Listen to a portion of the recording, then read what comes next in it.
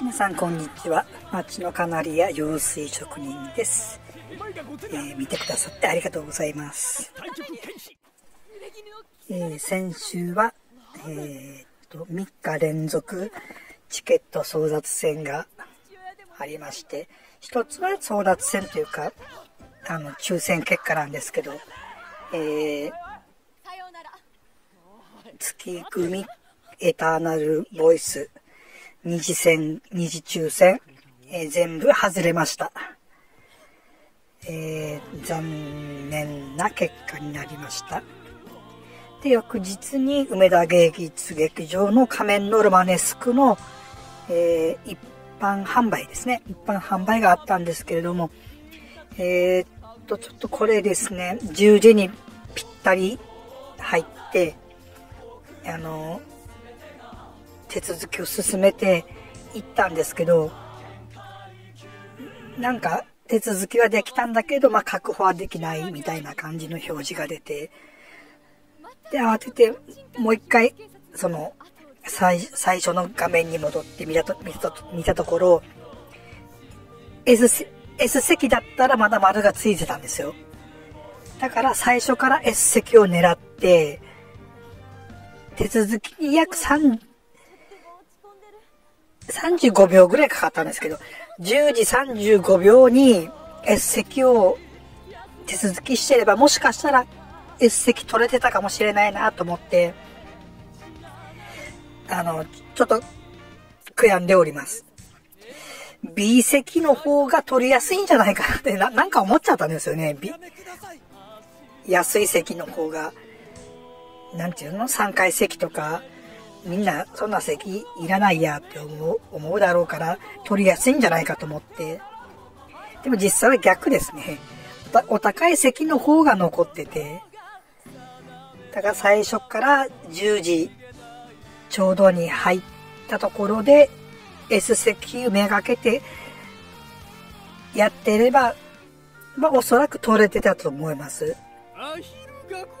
ちょっと残念な思いをしました。で、その翌日が、また、エターナルボイスの、えー、先着順か。先着順ですね。えー、それも、U 字から、えー、っと、エントリーというか、アクセスして、だいたいいつものことですけど、当然入れなくてなかなか。なかなか入れなかったんですけど、10分ほどで1回繋がって、で、そこで、一つ B 席を確保しました。で、その後、ま、もう一枚ぐらいは確保しておきたかったので、ひたすらリロードを繰り返して、30分ぐらいですかね。30分ぐらいリロードを繰り返して、全然繋がる気配もなくて、これダメかな2枚目取れないかなって思ってたら、ぴょこんって繋がってですね。で、それも、どの席にしようかなと思ったんですけども、B 席、その日も B 席を確保して、で、あとはもう、あとはもうチャレンジしなかったですね。あと、あと1公演えー、っと、土曜日か。土曜日が、土曜日が午前、午前中っていうか11時のやつと日曜日のやつと2枚取る余地があるんですけど、それ一般販売で取れればという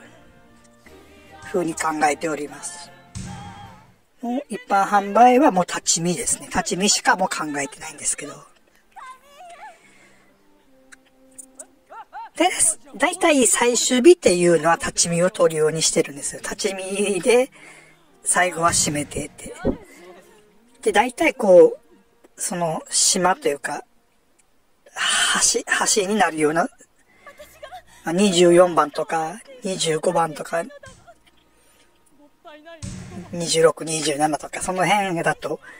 こう角ですよ。まあ言えば、その立ち見、立ち見の隅っこのその辺を取る、得る余地があったら、そこを狙って確保するようにして、で、で、チャンスがあれば、手を振って 手を振って、アピールしたりとかしていますね あと、諦め、諦めがつかないのが仮面のロマネスクですね。なんとか、えっと、私が予定している日で言えば、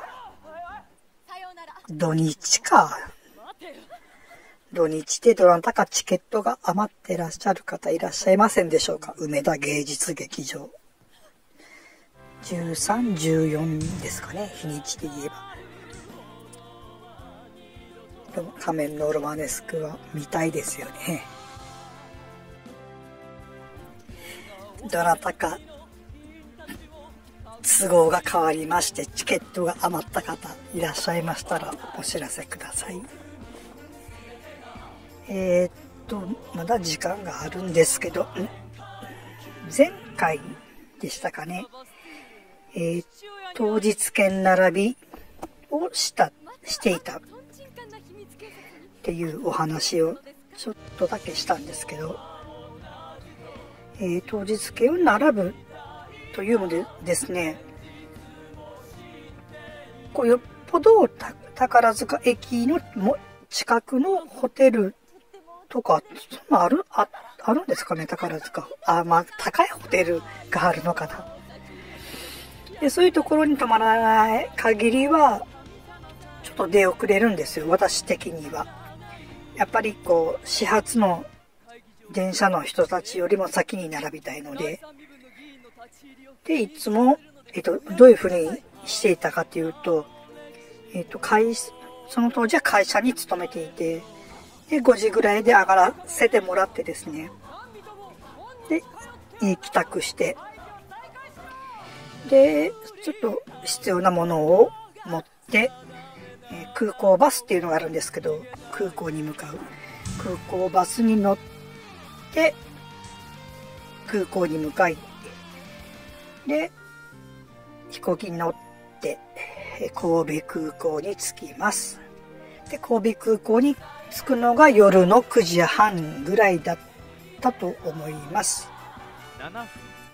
で、それから宝塚に移動して、宝塚の宝の湯という温泉にちょっと1時間ほどゆっくりさせてもらって、多分もう、あれですかね、営業終了ぐらいまでおらせてもらって、もうゆっくりさせてもらって、で、それから最寄り駅の中山寺ってどのぐらいでしたかね。多分歩歩いて15分ぐらいかな。の駅から宝塚駅に着き、向かって着いて、それが1時前ぐらいなんですよね。で、そこでちょっとは寝なきゃいけないんですけど、どこで寝ようかなっていうのを考えて、私がいつも寝ていた場所、ね、寝てて、そんな、ぐっすり寝れ、寝れないんですよね。野外ですから。え、ー、と、寝ていた場所が、宝塚大劇場前、交差点っていうんですかね。国道沿いの、あ国道のですね。で、そこの歩道橋の上に、ゆっくりしてましたね。時間まで。で、時間までっていうのは、まあ、約5時ぐらいを目指、5時ぐらいですかね。5時ぐらいに並べば、えー、始発の電車組には 勝てるのでで、そういった風にして、チケット並びをしておりました。で、その頃には大体、多い時ではもう10人ぐらいいたりとか、もっといたこともあったですかね。皆さん何時から並んでたのでしょうか。えー、そういう風にしておりました。で、チケットを取って、大劇場で感激して、で、そのまま神戸空港に行って、それで家に帰るっていう感じの、本当結構ハードなスケジュールだったですよね。それも懐かしい思い出なんですけど。えー、っと、今日は先週のチケット争奪戦の話と昔懐かしい当日券並びの思い出みたいなお話をしました。最後まで聞いていただき本当にありがとうございます。では、